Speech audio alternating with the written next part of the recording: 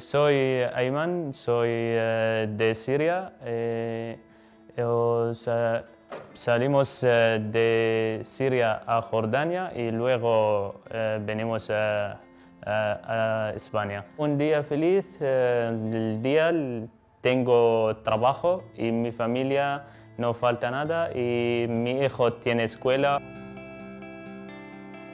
La familia de Ayman representa uno de los casos de acogida de refugiados sirios.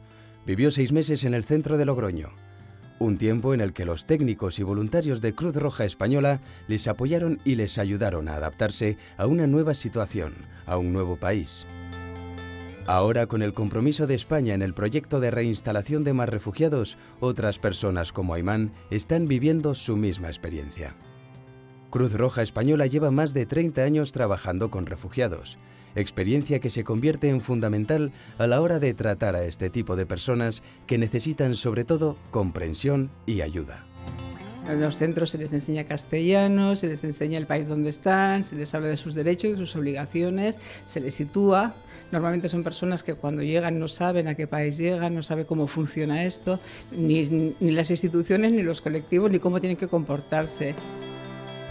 En lo que va de año, Cruz Roja Española ha atendido a más de 6.500 personas solicitantes de protección internacional y refugiados y a través de diferentes programas de acogida e integración.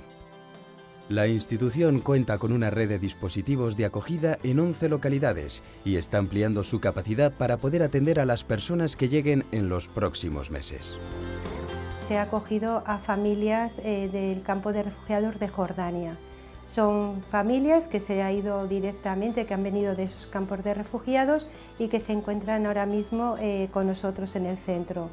Y ahora pues la fase que estamos todos esperando ya, que va a ser eh, la fase de reinstalación. Cruz Roja cuenta con equipos especiales de intervención que cubren todas las áreas necesarias para la acogida de estas personas, desde trabajadores sociales hasta educadores, abogados, psicólogos, mediadores o técnicos de empleo. Un gran colectivo que se suma a la capacitación, la actitud y la ilusión. Los refugiados aquí llegan con mucha ansiedad, mucha tristeza, mucha desconfianza de, de todo, porque lo- debido a lo que ellos han pasado. Enseñarme ellos, eh, sobre todo la, la lucha, la constancia que tienen, ¿no? De, de cara, por ejemplo, que tienen, tienen un problema y aun teniendo, bueno, tienen miles de problemas, las mochilas que traen ellos están cargadas de problemas y se concentran, intentan trabajar, intentan venir a clase, a pesar de los problemas que tienen, ¿no? Y intentan sobrellevarlo de la manera que pueden para, para intentar hacer una vida nueva, ¿no? Ay, me dan mucha satisfacción, son la mayoría muy agradecidos, mm, con las clases veo que aprenden bien, eh, bueno, luego cuando les va bien la verdad es que me siento muy feliz.